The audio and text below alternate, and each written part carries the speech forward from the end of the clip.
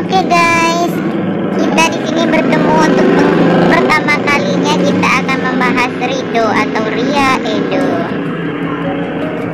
Oke okay guys, jadi di sini itu Ria itu naik motor bareng sama Edo.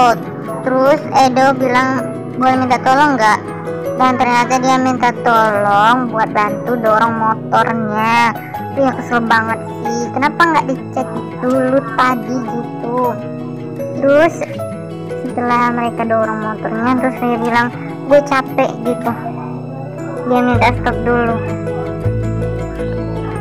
Edo juga bilang ini motor kenapa lagi pakai segala mogok gitu